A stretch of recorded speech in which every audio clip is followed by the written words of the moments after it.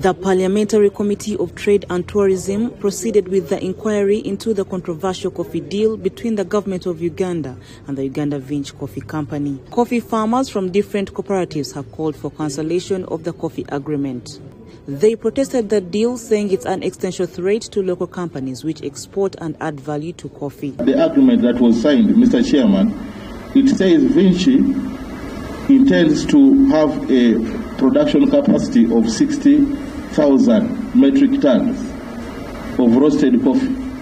Of coffee, Mr. Chairman, in the country is 7 million bags of 60 kilos each. So if you do a simple mathematics, you will find that we are producing about 420,000 metric tons of coffee. But out of this total production, Vinci, according to their production capacity, will be taking almost half of it one company will be taking almost half of the, of the entire country's product. This company is not opening or operating in a free market. We have no problem Vinci buying all the coffee if they are competing freely with everybody else.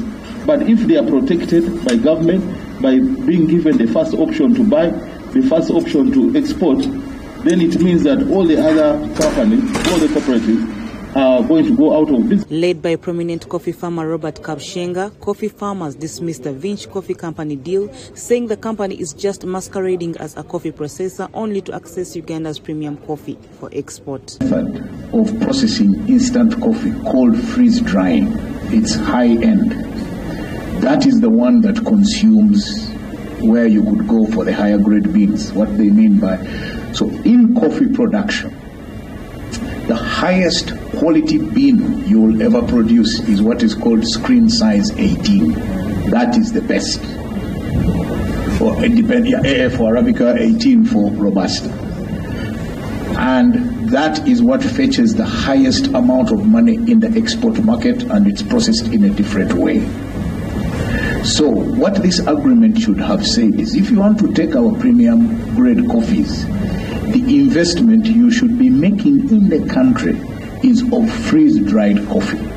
The moment you go into that area, the money should shift from $80 million and start to go into the hundreds of millions of dollars. They even challenged the legality of the coffee agreement, saying the Minister of Finance does not have powers to give tax incentives to any company without approval of Parliament. Look at the tax exemptions granted in this agreement versus what Parliament passed in 2017.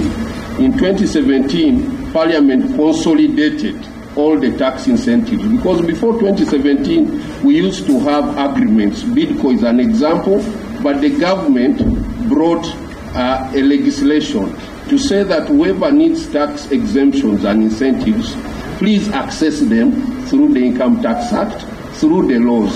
So, and that's why I'm saying laws must be publicly promulgated you don't access incentives through agreement. The committee chairperson Mpaka threatened to wage a raid on Vinci offices to dig up all documents needed to beef up the probe. He didn't show up. Uh, she directed uh, someone to represent her, that is the company secretary.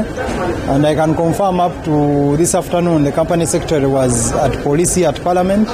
He has refused to give us the necessary documents. We are going to process a search warrant go to their offices and take all the necessary documents we need. Download the app on App Store or Google Play Store now.